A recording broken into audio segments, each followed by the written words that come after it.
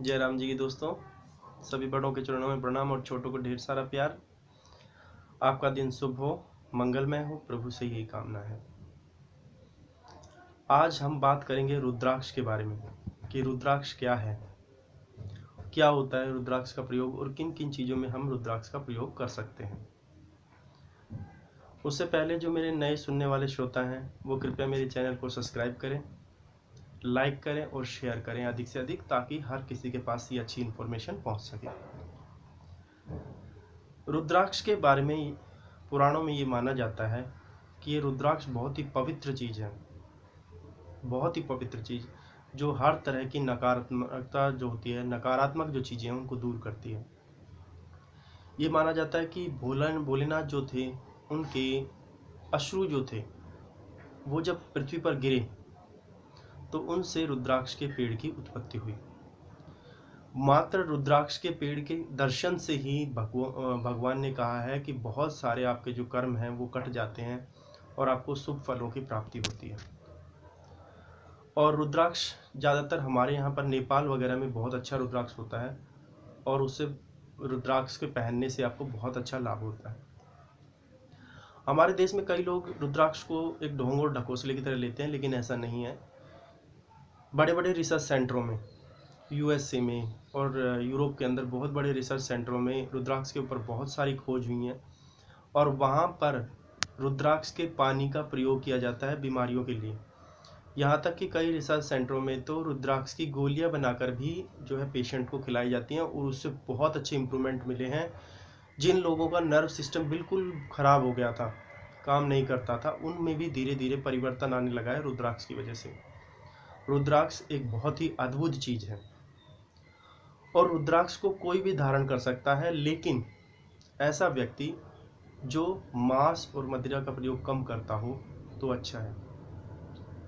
आप सात्विक तरीके से रहते हो तो रुद्राक्ष आपको बहुत अच्छा फल देता है। अब मैं आपको बताता हूँ कि रुद्राक्ष के क्या क्या फल हैं। सबसे पहली बात तो रुद्राक्ष हमारी एकाग्रता को कंसंट्रेशन पावर को बहुत अच्छा करता है।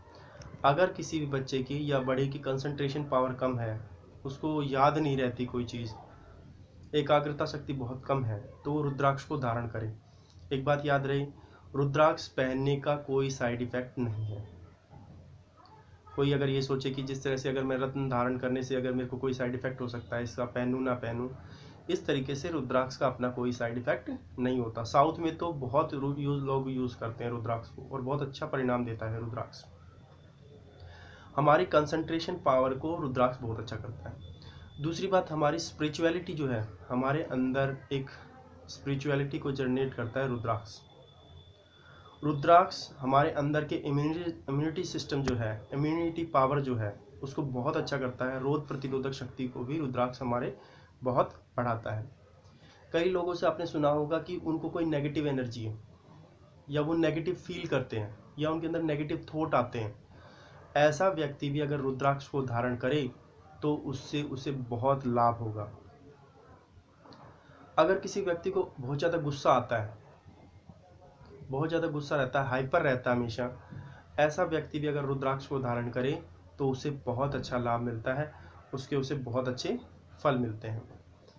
कई बच्चे जिनको पढ़ने में बहुत प्रॉब्लम होती है, उन्हें याद नहीं होता, स्मरण शक्ति बहुत कमज़ोर है, उन्हें भी रुद्राक्ष को धारण करना चाहिए।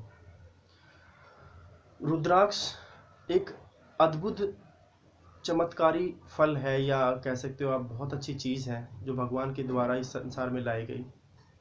आप उसका प्रयोग जितना करोगे, आपको बहुत अच्छा लाभ होगा। लेकिन बात एक याद रखने वाली ये है कि आजकल मार्केटों में डुप्लीकेट रुद्राक्ष मिलते हैं। मैंने तो प्लास्टिक के रुद्राक्ष तक बिकते देखे ऑनलाइन।